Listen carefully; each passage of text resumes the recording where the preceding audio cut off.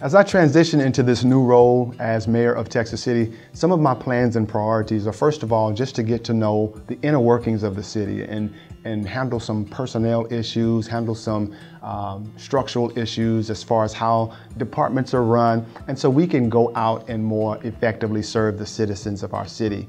Um, I'd also like to address the needs of our police department.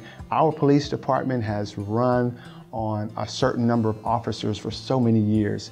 And uh, just recently we approved the addition of more officers and that's due to some work of administration before me, but it's finally come to fruition that we're adding some additional officers. That makes our communities safe. Safe communities make it more welcome for other people to move to the city of Texas City. When we have positive people who live in the city of Texas City, it's cyclical. It goes on and it helps our uh, revenue, our tax base, and, and so we continue to make this a great city to live. So as far as my priorities are concerned, just want to help the, the city help its residents.